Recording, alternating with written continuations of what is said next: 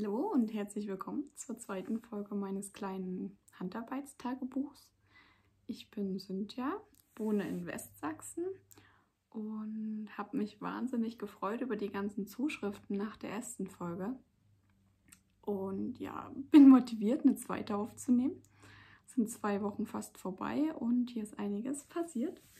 Bloß davor, ich hoffe, ihr habt einen Kaffee oder irgendwas zu trinken, ähm, Tee, habt euer Strickzeug, irgendwas noch nebenbei zu tun. Ähm, und dann können wir gleich loslegen. Ähm, erstmal kurz noch, ich trinke Kaffee mit Schokolade. Ich liebe es. Und ja, wir starten ähm, gleich mit den fertigen Projekten. Ich war eine Woche von den zwei Wochen daheim, hatte Urlaub und habe sehr viel gestrickt, würde ich sagen. Für meine Verhältnisse auf jeden Fall sehr viel.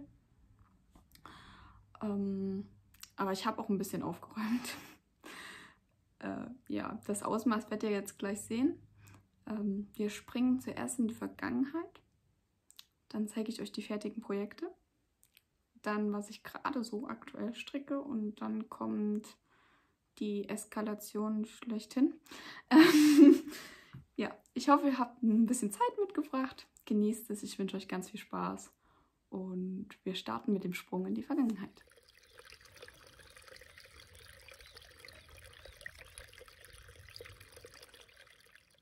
Ein kurzer Sprung in die Vergangenheit.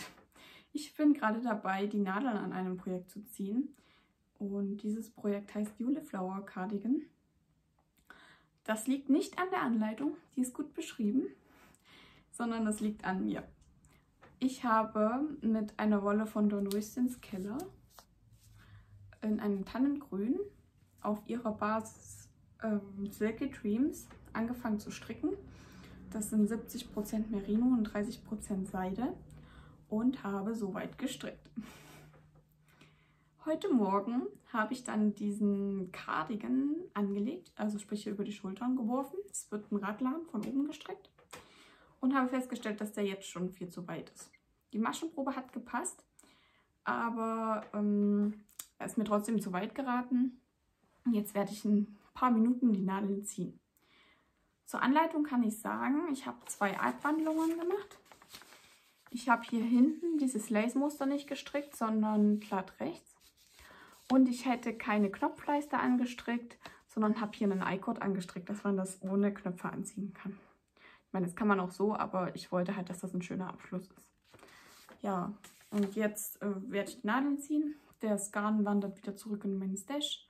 Und ich schaue mal, was ich daraus noch machen werde. Starten wir mit den fertigen Projekten. Und beginnen würde ich mit dem Projekt, was ihr schon kennt, also eins der Projekte. Und zwar sind das die Socken, die im Rahmen der Aktion Regenbogen Stash Along von Annette entstanden sind. In dem Monat März war die Farbe lila und ich habe zwei lila Socken gestrickt. In Schuhgröße 43 für jemanden aus der Familie. Die sind auch beide fertig. Jetzt einmal auf einem größeren Blocker, darum passt das ja nicht ganz. Aber ähm, ja, die sind dann auch innerhalb von zwei Tagen noch fertig geworden nach dem Podcast. Ich habe sie noch nicht gewaschen, aber man sieht wunderbar, dass es äh, schön gefärbt von Strickoholik. Ist ihre Basis Cozy Socks mit 89% Wolle und 11% Polyamid. Ja, ich habe auch ein bisschen was übrig. Ähm, ich würde sagen, es sind so 20 Gramm ja, die wandern jetzt in die Restekiste und dann schaue ich mal, was ich damit ähm, mache. Das letzte Mal habe ich es nicht gezeigt, aber es war dieser Knitter. Das ist die Edition, ähm, gute Frage, 50 2021. Und das Muster ist von Ellie Doyle. Ja, Ellie Doyle.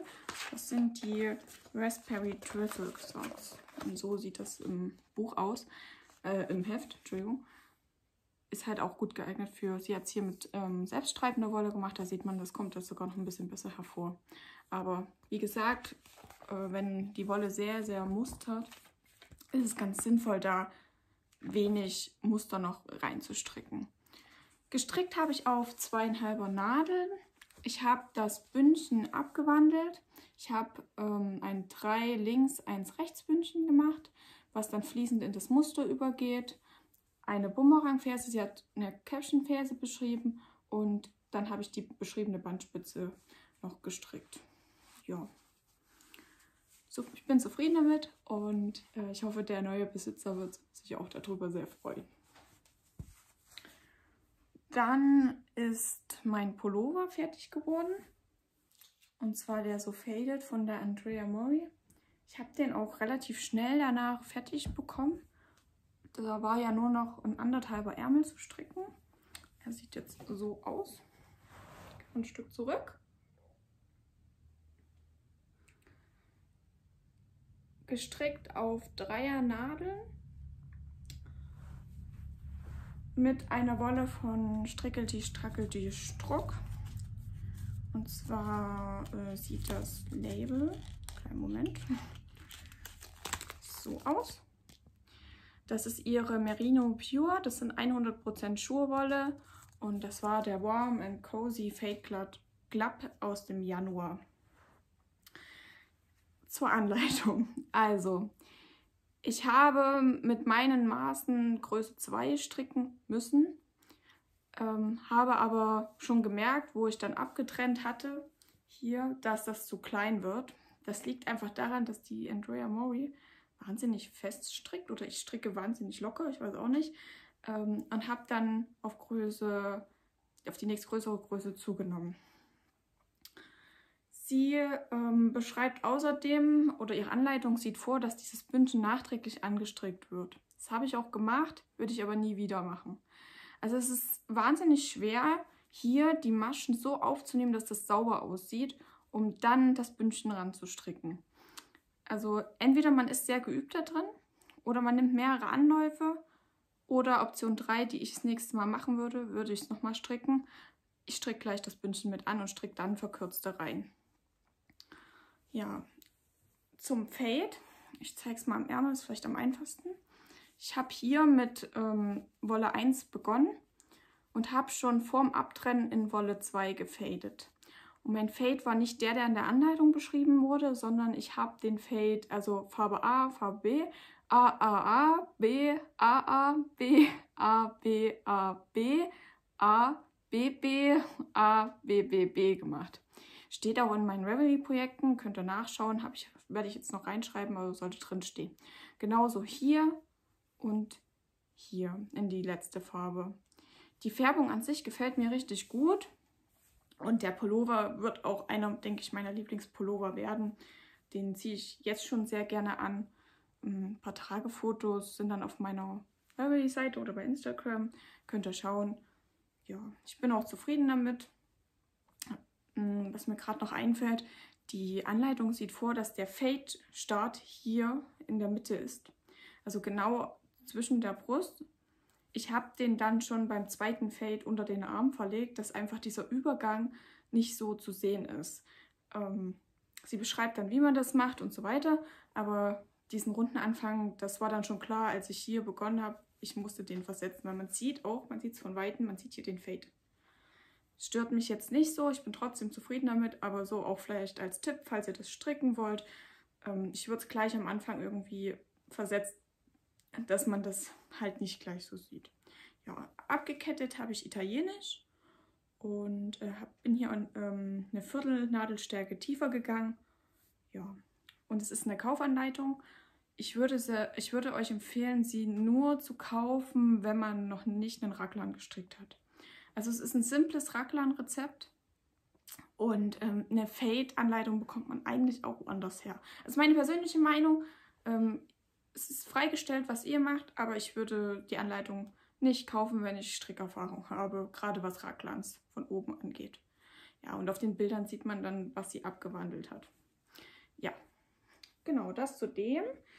Ähm, übrig geblieben an Wolle ist von Farbe 1, die hier oben war, relativ viel. Von Farbe 2 fast gar nichts, das ist, sind nur 8 Gramm. Von Farbe 3 und Farbe 4. Die wandel, wandern jetzt auch erstmal in meine Restekiste Und ich schaue mal, was daraus wird. Also noch einen Feld werde ich gar nicht groß stricken können, weil Farbe 2 ist halt wirklich nicht mehr viel da. Sonst hätte man ja vielleicht noch einen Schal oder so stricken können. Mal gucken. Das ist auch nicht so wirklich für Socken geeignet, würde ich sagen. Also äh, ich sehe da drin die Haltbarkeit nicht ganz so. Ja. Gut, dann ist noch was fertig geworden, äh, was ihr schon kennt. Und zwar nur den Bobbel, den Wollbobbel kennt ihr. Ich habe meinen Kaul fertig gestrickt. Aus einer Wolle, die ich selbst gefärbt habe. Das war, glaube ich, eine der ersten, die ich selbst gefärbt habe. Gestrickt auf äh, Dreier Nadeln mit ähm, um die 148 Maschen. Ich weiß es gar nicht mehr so genau. Und das ist die Anleitung der Sockhead Cowl von Kelly McClure. Ich weiß nicht. Ist, glaube ich, eine Amerikanerin. Ist auch schon relativ häufig gestrickt. Ist auch verlinkt. Könnt ihr nachschauen. Ähm, so ist die Wolle rausgekommen. Auf meiner Reverie-Seite ist auch ein Foto drin von der Wolle, wie sie im Strang aussah. Da könnt ihr nachschauen. Ich wusste nicht, ob es eben so geringelt rauskommt oder ob es sich vielleicht sogar poolt. Es ist jetzt so rausgekommen. Ähm, übrig ist 2 Gramm, 3 Gramm, so in der Dreh. Äh, das war einfach mein Sicherheitsgramm. Ich habe dieses erste Bündchen gestrickt, dann habe ich rechts gestrickt, bis ich ähm, beim zweiten Bündchen angekommen bin. Und nach dem ersten Bündchen habe ich die Wolle gewogen und habe äh, sozusagen wusste, wie viel Gramm ich brauche, um das zweite Bündchen zu stricken und habe dann, ich glaube, 5 Gramm Sicherheit genommen, dass ich einfach ähm, auf jeden Fall hinkomme mit dem Knoll. Ja. Der war relativ schnell fertig. ähm, ich weiß nicht, ich war irgendwie viel unterwegs und dann mal da kurz angehalten, halbe Stunde gestrickt da. Und da war der, ich weiß nicht, innerhalb von einer Woche, anderthalb vielleicht fertig. Ja, genau. Abgekettet habe ich hier ganz normal, mm, also nicht italienisch, aber äh, tut nichts zur Sache, wandert jetzt in die Geschenkebox und wir schauen mal, wer den dann bekommt. Achso, und gewaschen habe ich ihn auch schon. Die High Twist von Schmusewolle ist auch sehr gut rausgekommen. Und es hat sich auch nicht ausgewaschen. Obwohl das Wasser ziemlich rot war, muss ich sagen. Ja, ist auch für den Regenbogen Station für April. Auch im April fertig geworden. Freue ich mich sehr. Ja. Dann ähm, hat meine Cousine ein Baby bekommen, ein Mädchen. Und ich werde sie jetzt besuchen gehen. Äh, morgen. Deswegen äh, nehme ich heute auf. Und ähm, da kommt man ja nicht mit leeren Händen. Ja, und wir haben ja schon was geschenkt, aber ich dachte, so ein bisschen was selbst gestricktes ist ganz schön. Da freut sich jeder drüber. Ähm, die Babydecke von meiner Oma nutzt sie auch sehr häufig. Deshalb weiß ich, dass das Kind das auch anziehen wird. Und ich habe mir überlegt, okay, was kann ein Kind gebrauchen? Und habe ein paar Socken gestrickt für das Kind oder Baby. Also ja, ich glaube, es ist jetzt drei oder vier Wochen. Und zwar habe ich ähm, ein paar Spiralsocken gestrickt.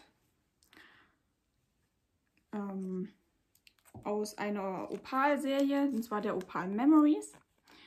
Die ist äh, jetzt irgendwann was am Anfang des Jahres oder so rausgekommen. Das ist Papas Prinzessin, heißt äh, die Wolle. Ich fand, das irgendwie hat gepasst.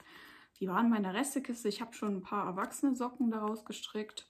Und jetzt eben diese paar Babysocken. Ähm, die Anleitung ist aus dem Buch von Bernd Kessler, Spiralsocken, alles selbst gekauft. Ähm, und das ist diese, das Basic-Rezept. Also vollkommen einfach. Er sagt, x Maschen anschlagen, da gibt es einen Chart. Eigentlich braucht man den Chart auch nicht. Man zählt einfach die Runden und dann verschiebt man. Und ja, jetzt sind ein paar Babysocken rausbekommen. Ich habe ein Bündchen von 10 Runden gestrickt. Dann habe ich 60 Runden eben, was er schreibt, gestrickt und dann die Spitze ja, ich denke auch, dass die, das Mädchen oder das Baby mh, mm, das auch relativ lange anziehen wird. Also ich glaube, Babygröße ist aktuell so. Also man kann sie auf jeden Fall so anziehen. Ja.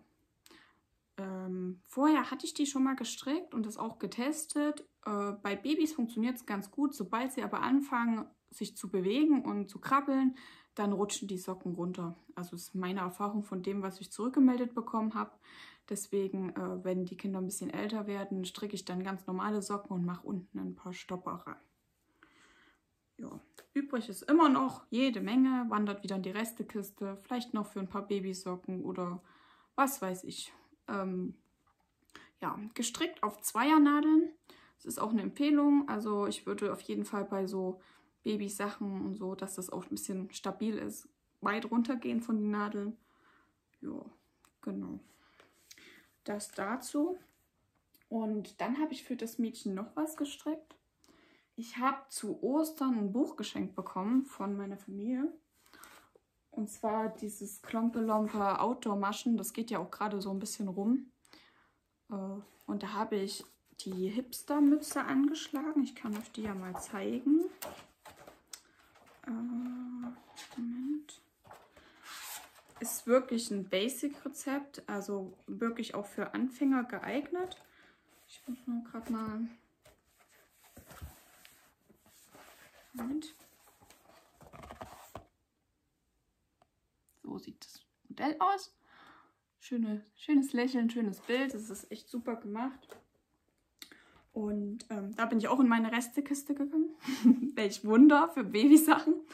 Und habe gefunden einmal eine Austermann Step Merino. Das war auch ein Rest. Ich habe auch keine Banderole mehr. So aus. Müsstet ihr mal, wenn ihr es genau wissen wollt, in meine Ravelry-Projekte gucken. Ich hatte daraus auch ein paar Socken gestrickt aus 52 Weeks of Socks. Ich glaube, es waren die Lurik-Socken oder so. Und ähm, dann habe ich noch einen Rest gehabt von einem Tuch, auch weiche Wolle. Und zwar ist das Lang Merino BB 200.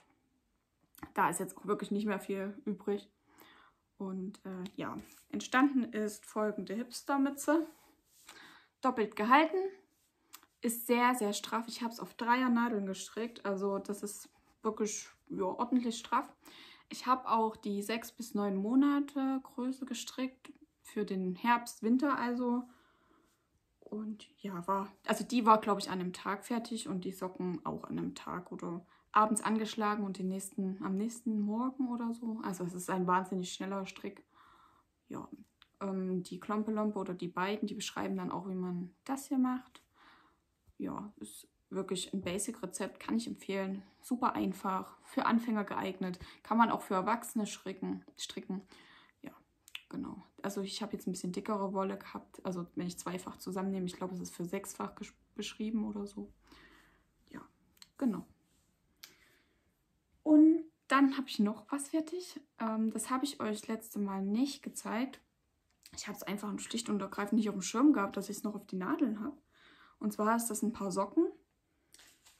Die Eva Romain hat einen Mystery Call, ge Call gehabt bei Ravelry ich glaube in der Solid Socks Gruppe oder so. Und äh, ich habe das gesehen und weil ich bei der Sock Madness dabei war, dann aber leider berufsbedingt ausgestiegen bin, habe ich gedacht, okay, es ist vielleicht sinnvoll, schon mal davor Perlen gestrickt zu haben, also Perlen in Socken. Das hatte ich noch nie gemacht.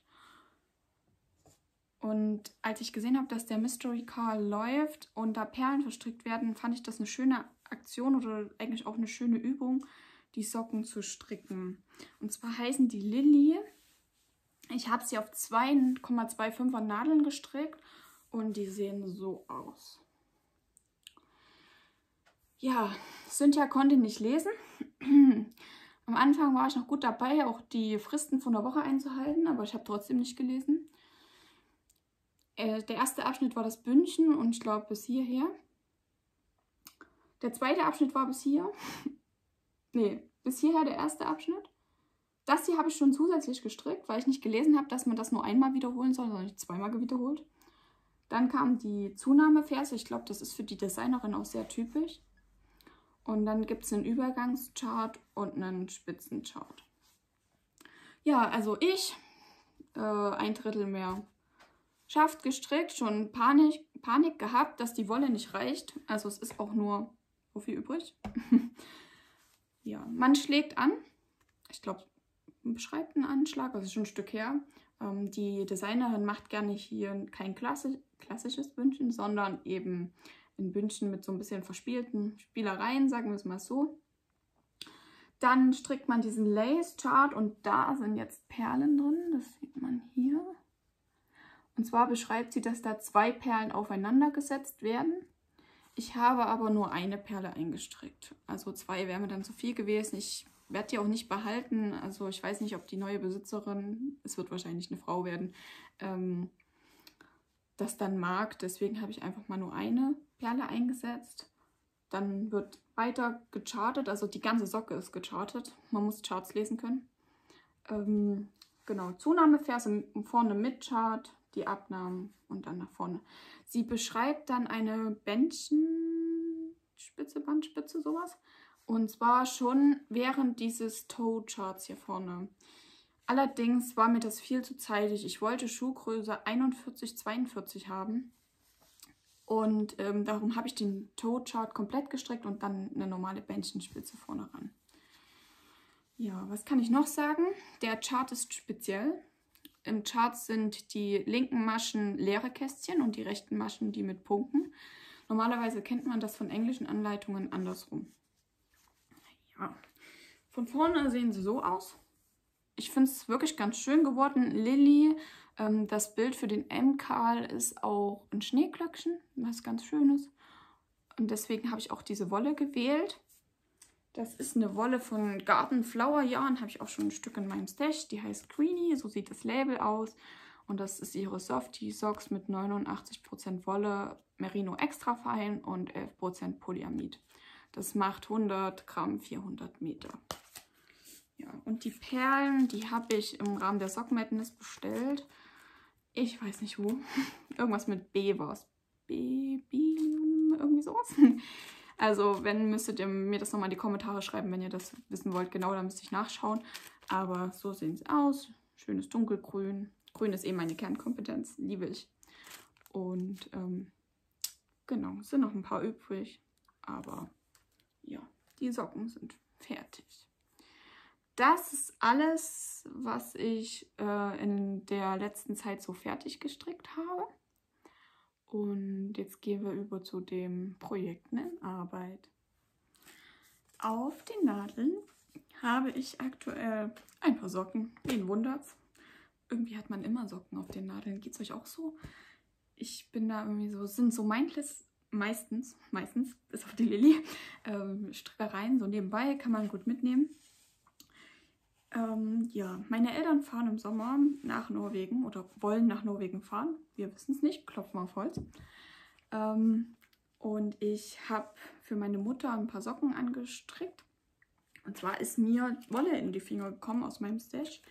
Die Prolana Fjord Sock Wolle. Und da habe ich losgelegt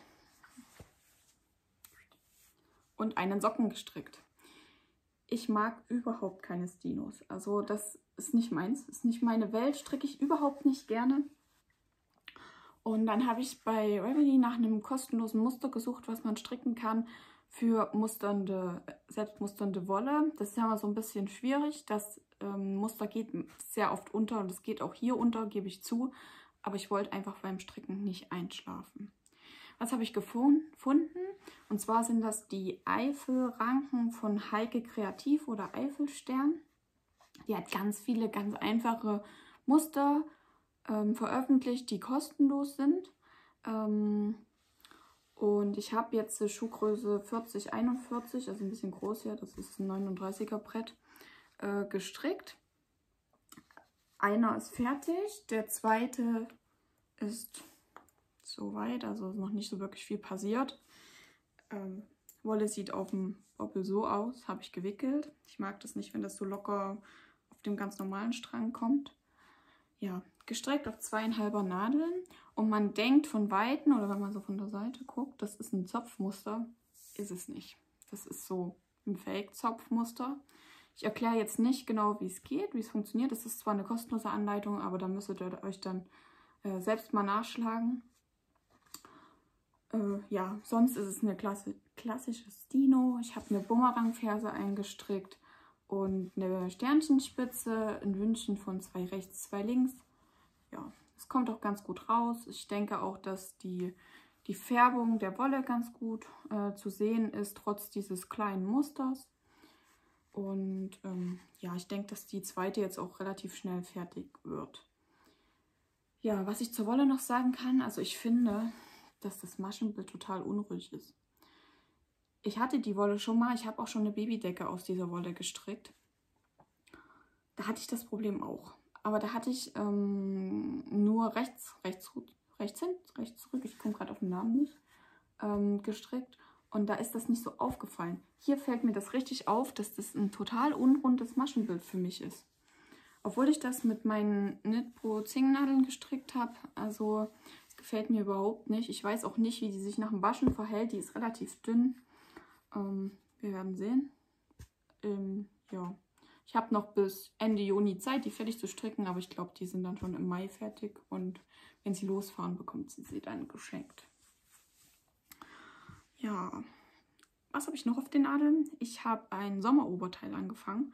Nachdem ich meinen Pullover fertig hatte, ähm, war mir zwar erst noch ganz viel rechts stricken und ähm, habe den ganzen, die ganzen Kleinteile gestrickt. Und dann äh, habe ich mal in meinem Stash geschaut. Habe ich so gedacht, okay, guckst du mal, was hast du noch für Wolle? Und ich habe gefunden die Reva von GGH. Das ist eine recycelte Wolle. Es ist auch, würde ich sagen, fast ein Tweed-Garn. Farbe 6.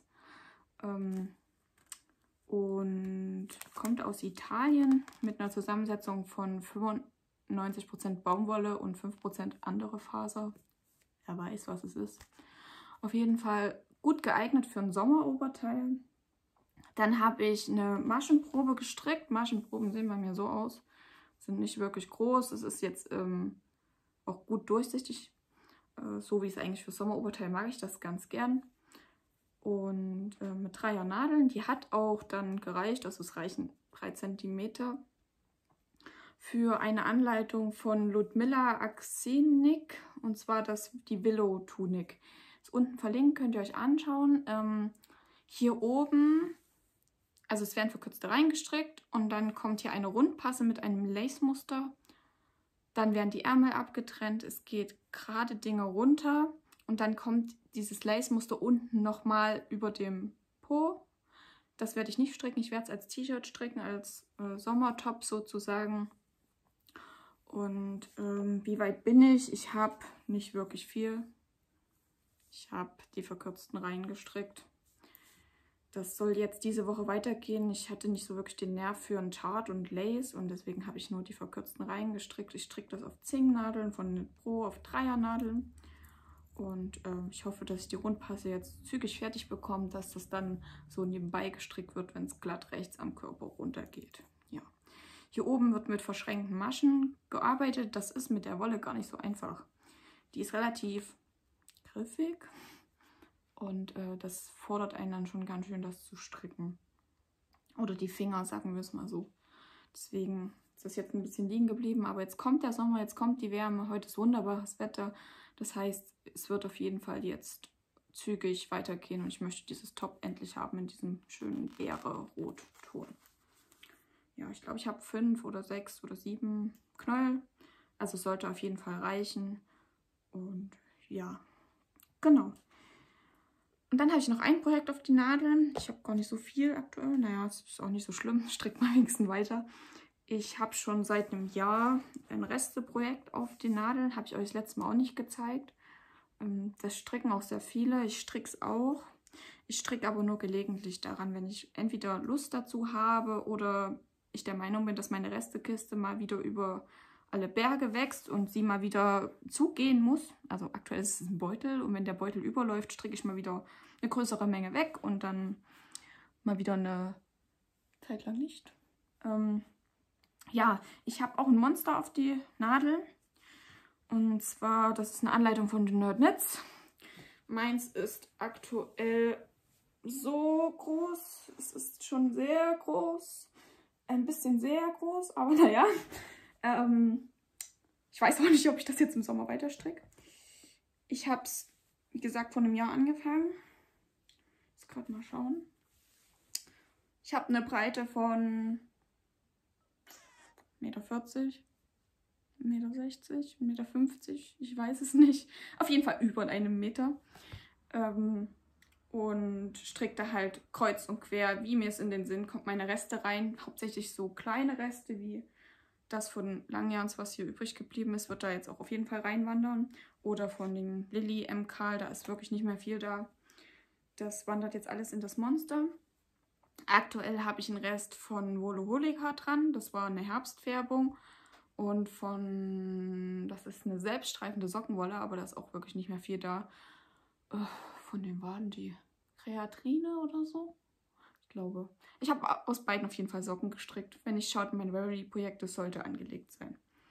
Ja, und stricken zweifädig auf viereinhalber Nadeln. Es wird ein relativ dichtes Gestrick. Und ja, die zeige ich euch jetzt nicht jedes Mal, sondern da muss ich wirklich ein bisschen Fortschritt haben, dass sich das lohnt, dann wieder zu zeigen. Ja, das ist auch alles. Ich habe keine UFOs. Ich bin nicht so der UFO-Produzent und ich mag das nicht. Ich will das dann fertig haben. Und ja, die Decke wächst so langsam vor sich hin und frisst meine Wollreste. Genau, so. Das war alles, was ich euch an Strickigen zu zeigen hatte. Jetzt kommt äh, mein Kaufrausch. Ich hatte gestern eine Prüfung auf Arbeit und die hat mich ein bisschen die letzten Wochen auch auf Trab gehalten. Deshalb habe ich auch so viel gestrickt zur Ablenkung und zur Beruhigung, halt auch viel rechts. Und ähm, hat mich irgendwie auch dazu verleitet, einkaufen zu gehen. Sowohl online als auch auf Märkten. Deswegen kommt jetzt gleich, ich räume das gleich alles her, eine größere Episode meines Kaufrauschs der letzten zwei Wochen. ähm, wem das nicht interessiert, den verabschiede ich jetzt schon mal. Ich wünsche euch eine schöne Zeit, kommt gut in den Mai oder seid schon gut in den Mai gekommen. Genießt es, genießt das Wetter, geht ein bisschen raus und ähm, viele Grüße hier aus Westsachsen. Ja, also für die anderen, ich liebe es, Wolle geshoppte Wolle von anderen anzuschauen. Es inspiriert mich immer total, auch zu schauen, was wollen sie dann daraus stricken oder was gibt es schon so für Pläne. Ich schaue das auch sehr, sehr gerne von englischsprachigen ähm, Podcastern an. Deswegen haltet euch fest. Fragen Sie bitte zu Risiken und Nebenwirkungen Ihren lokalen Wolldealer und äh, los geht's. So, also das, was ich jetzt euch alles zeige, ist nicht normal. Ich weiß es. Ähm, ich habe aber auch davor sehr lange, also ich habe im letzten Podcast die zwei Dinge gezeigt, aber davor habe ich wirklich ganz wenig gekauft. Ich habe auch einen relativ verhältnismäßig kleinen Wollstash, würde ich sagen, der sich jetzt ganz schön erweitert hat. Nämlich um so ein Viertel, würde ich sagen. Ja, äh, womit fangen wir an? Fangen wir vielleicht von vorne an. Ich war letzte Woche auf einem Markt. Und zwar gibt es hier das Deutsche Landwirtschaftsmuseum in Blankenhain. Das ist ein paar Kilometer weg. Und dann haben wir eine Radtour dahin gemacht und es war Korb- und Pflanzenmarkt. Wir haben auch Pflanzen gekauft für den Garten, aber es gab auch ähm, ein paar Wollstände, wo Industriewolle und ähm, ungefärbte Wolle von Schafen verkauft wurde und auch eine ähm, Handspinnerin, die gesponnene Wolle verkauft hat. Ja, ähm, ich habe es gesehen und dachte mir, okay, gehst du mal hin, schaust dir das an und habe mich dann ganz, ganz nett mit der, jungen, äh, mit der Dame unterhalten und zwar mit Angelika von Angelikas Naturwaren. So sieht ihr Label aus. Ähm, war wahnsinnig schön, kommt aus Elsterberg. Das ist ähm, in Sachsen noch, gerade so in der Grenze Sachsen-Thüringen. Sie bietet auch Spinnenkurse an, spinnt auch auf Auftrag. Sie strickt allerdings nicht und verkauft dann ihre gesponnene Wolle. Ja, und ich wurde ein bisschen fündig. Und zwar habe ich Merino-Wolle mit Seide gekauft. Drei solche Knäuel, unterschiedlich ähm, vom Gewicht her. Ja, und das sind 63 Gramm. Dann habe ich nochmal 63 Gramm und 75 Gramm. Und daraus soll eine Mütze werden, denke ich, oder ein Loop oder sowas. Ja, es sollte auf jeden Fall reichen. Ähm, sie hat das dann mir auch noch ein bisschen günstiger verkauft, weil wir uns nett unterhalten haben. Also falls ihr Interesse daran habt, ähm, schreibt es in die Kommentare. Ich äh, kann euch gerne ähm, ein paar Daten geben. Ähm, wahnsinnig nett, war wahnsinnig schön, den Markt zu besuchen und mal wieder rauszukommen. Ja, das ist Einkauf Nummer 1. gleich weiter. In meiner ersten Phase des Lernens war ich bei Instagram unterwegs. Und dann habe ich gesehen, dass Knitloop eine neue Qualität für Sommeroberteile rausgebracht hat. Und zwar die Cloudy Cotton. Und ich konnte einfach nicht widerstehen, als ich diese eine Farbe, die ich euch gleich zeige, gekauft habe. Ich habe da so ein Sommeroberteil, was ich gerne stricken möchte. Und dachte mir, das wäre doch mal was um die Sonnenbrille aufzusetzen. Und habe drei Knäuel knallgelb gekauft. Und dachte mir, das ist doch was für den Frühling. Ja. Ähm, ist eine 100% Baumwolle mit drei bis vierer Nadeln. Die schreiben auch, dass zwei Knäuel reichen. Ich dachte dann, okay, hm, bist relativ groß gewachsen, nimmst mal ein drittes Knäuel noch mit. Und daraus werde ich mir jetzt demnächst ein Sommeroberteil stricken. Ähm, was dann, denke ich, auch ganz schön wird. Ja.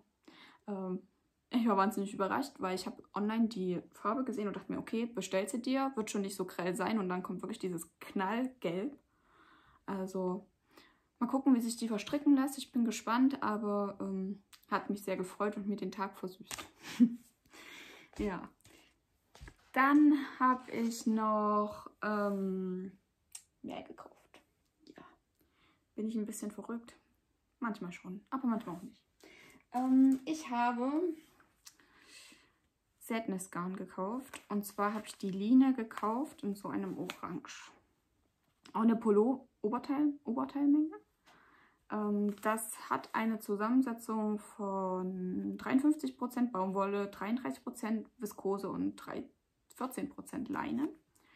Ich hatte irgendwie einen totalen gelb-orange-Fimmel. Ich weiß auch nicht. Als es dann kam, war ich auch war ich wirklich zufrieden. Es ist eher so ein Gold-Orange, würde ich sagen. Falls ihr die Farbe wissen wollt. 25, 27. Und ähm, ja, ich bin zufrieden. Es wird ein Sommeroberteil. Welch Wunder. Und das wird auch eins der nächsten Projekte für den Sommer. Ja, dazu habe ich noch ein paar Nadeln gekauft. Also ein paar Zingnadeln, dreieinhalber, vierer so in der Dreh, gerade für Sommeroberteile, ganz gut geeignet. Ja, ich habe noch mehr Sadness Garn gekauft. Ich habe noch die Mini Alpaka gekauft, auch eine Pullover Oberteilmenge. Das ist ein weiches Garn. Also wenn jemand wirklich sich ein Garn leisten möchte, was A luxuriös ist und B sehr, sehr weich und es soll keine Schafwolle sein, dann würde ich euch die empfehlen, schaut euch die mal an ähm, auch eine Pullovermenge und die Farbe 2355 und die ist auch so dieser Line sehr, sehr ähnlich. Also es ist fast die identische Farbe. Ich weiß auch nicht. Es hat mich einfach gepackt. Ja, und äh, kommt aus Norwegen. Wurde auch schon, glaube ich, des Öfteren empfohlen. Also jeder muss das ja selbst wissen, ob er das möchte, ob er das kaufen möchte, ähm, ob er das finanzielle ausgibt, weil das ist auch relativ ein preisintensives Garn. Aber ja, was man nicht manchmal so tut. Genau, dann habe ich ähm, gesehen, dass Holz ein Sale hatte auf Kuhn. Und dann kam mir die Idee, du willst das schon immer mal, im, also im Herbst will ich das, einen Colorwork Pullover stricken. Und zwar nicht all, all over Colorwork, sondern nur einen Teil. Ihr werdet sehen. Mal gucken, ob das überhaupt umgesetzt wird. Und ich dachte, braun und grün ist eine schöne Kombination. Also habe ich zwei Kohlen gekauft. 500 Gramm Kohlen. Hilfe. Ähm, das ist Holz Super Soft. Sie ist nicht wirklich super soft. Also für empfindliche Personen weiß ich nicht, ob das so geeignet ist. Ähm, einmal die Farbe Calypso und einmal die Farbe Cinnamon, Cinnamon, wer weiß, wie es ausgesprochen wird. Ich spreche es deutsch aus. Ja, ähm, soll ein Colorwork Pullover werden, passen auch ganz gut zusammen. Allerdings habe ich gestern Annettes Podcast geschaut oder heute Morgen, ich weiß nicht mehr. Und dann hat sie die Farbe braun gezogen. Und das einzige braune, die einzige braune Wolle, die ich habe, ist also ich heute Morgen geschaut. Was kannst du aus dieser braunen Wolle machen? ja, also ich werde jetzt einen dicken, warmen, 100% Wolle Pullover im Sommer stricken aus dieser 500 Gramm Kone. Es wird was übrig bleiben, sodass ich das dann mit dem zu Colorwork verarbeiten kann. Aber ich werde jetzt aus dieser Wolle demnächst äh, einen Pullover anstricken. Ja. War jetzt zwar nicht so das, was ich geplant habe, gerade bei wärmeren Temperaturen, aber Farbe Braun sind ja hat nur das Braun, also wird das Braun angeschlagen. Ja. Ähm, dann ist mir Wolle aus meinem Stash in die Hand gefallen. Und zwar, die habe ich letztes Jahr gekauft. Das ist die Gedifra Deutsche 120. 90% Wolle, 10% Kaschmir. Ähm, und dann habe ich festgestellt, ich habe nur fünf solche Knäuel. Ähm, die liegt jetzt ja schon seit Sommer und ich hatte sie schon im Schachenmeier bei Stuttgart in dem Schachenmeier Store gekauft. Und dann habe ich geguckt und dann habe ich gesehen, dass die aus dem Sortiment geht. Was macht man mit 250 Gramm Wolle im A120 Laufmeter? Meter pro 50 Gramm. 50? Ich weiß gar nicht. Irgendwie sowas. Aber jedenfalls, ähm, ich, hm, das machst Internet geguckt, wo gibt es diese Wolle noch? Mit dieser Farbe. Gefunden und gekauft. Ich weiß, dass es äh, jetzt auch mal erst im Stash landen wird, aber bevor sie jetzt ganz weg ist und ich dann auf diesen fünf Knäulen sitze, habe ich nochmal fünf oder sechs Knäuel gekauft. Also jedenfalls so viel es gab. Ja, 50 Gramm, 120 Meter. Und dann habe ich eine Pullovermenge und kann mir dann, wenn Annette grau zieht, einen grauen Pullover stricken. Das ist der Plan. Ob das es wird, wir werden sehen. Ja, und ähm, ich habe noch was bekommen. Und zwar habe ich das Geschenk bekommen. Wer das jetzt nicht sehen will, dann schaltet dann bitte weg. Ich sage dann jetzt und ich halte es weg. Und zwar hat Janni von Strickel, die Strackel, die Schruck einen Sommer, äh, nee, jetzt gerade einen Sockenclub. Und ich hatte ein Jubiläum und habe den Club geschenkt bekommen mit dem Auftrag, daraus doch bitte Socken zu stricken. Ich kann sie auch behalten, aber ich soll bitte Socken daraus stricken.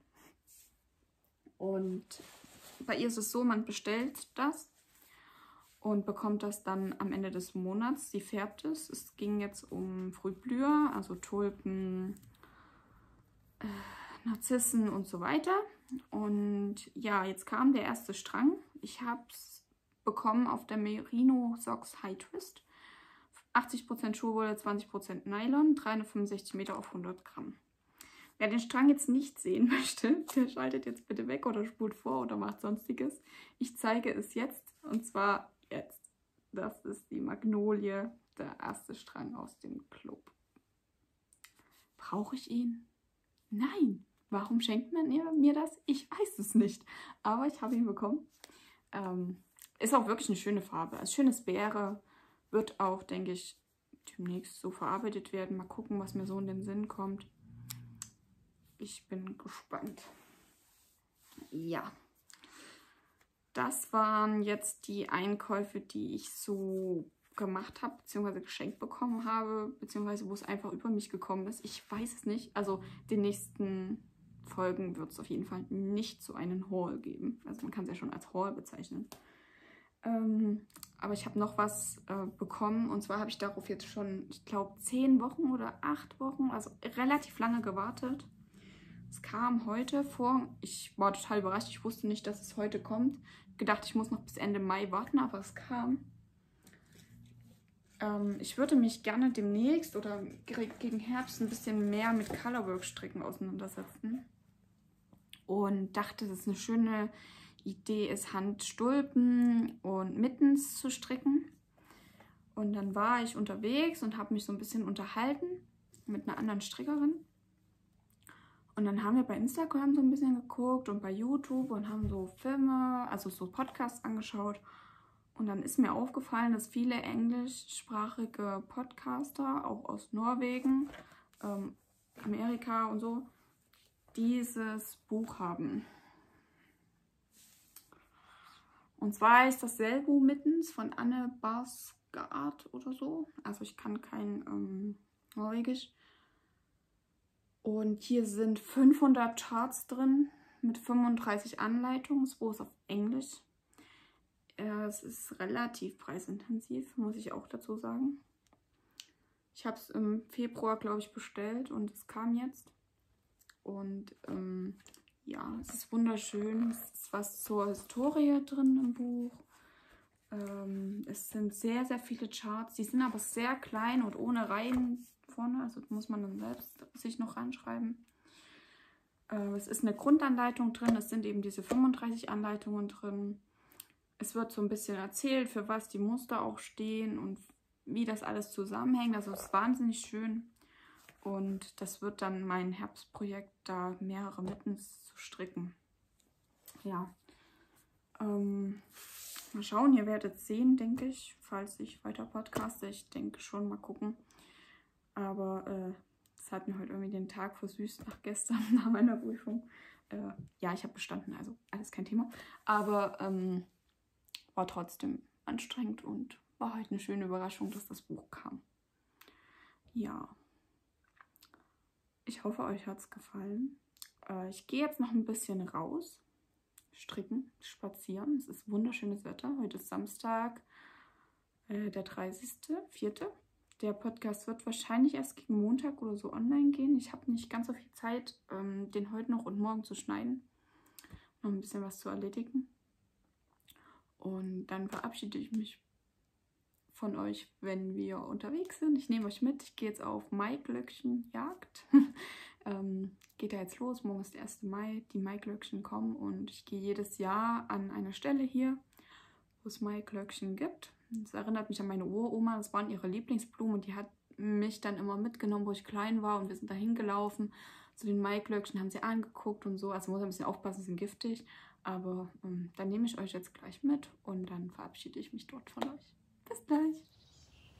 So, Stopp 1 meiner kleinen Tour, wo ich auch gesagt habe, dass ich euch mitnehme.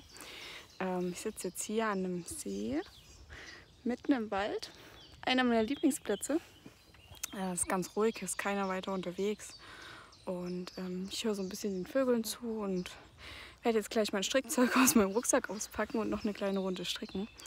Ähm, ja, bevor wir zu den Schnee, äh, Schnee Maiklöckchen gehen, ähm, wollte ich euch noch sagen, falls ihr irgendwelche Fragen habt oder irgendwas unklar ist, ihr irgendwas wissen wollt, schreibt es einfach in die Kommentare. Äh, ich versuche so gut es geht darauf zu antworten. Sonst ist alles in der Infobox verlinkt. Schaut einfach danach. Und ja, dann äh, sehen wir uns gleich beim Verabschieden bei den Maiglöckchen. So, angekommen an der vermeintlichen äh, Maiglöckchenwiese. Aber die existiert leider nicht mehr. Ich weiß nicht warum, ob es an Raps liegt oder äh, an den Bodenverhältnissen. Durch die Trockenheit sind hier viele Bäume auch umgefallen und die haben geforstet. Deswegen, ich weiß nicht. Normalerweise war hier äh, rechts von mir aus gesehen, links von euch, alles voll. Ja, schade. schade Banane, aber ist halt so, können wir nicht ändern. Ähm, ich hänge euch gleich noch ein Bild von welchen auch von unserem Grundstück hinten dran. Wir haben ein paar auf dem Grundstück stehen. Die kommen jetzt auch, fangen an zu blühen. Und ja, falls ihr das Vergnügen habt, mal welche zu sehen, die sind giftig und stehen unter Naturschutz. Das heißt, auch Ernten ist nicht äh, erlaubt. Also lasst sie schön stehen, behaltet die Giftstoffe schön auf Abstand. Und ähm, ja, sonst wünsche ich euch auf jeden Fall einen schönen Start in den Mai. Genießt es und ähm, ich weiß nicht, wann wir uns wiedersehen. Ich denke bald. Bis dahin, alles Gute. Ciao, ciao.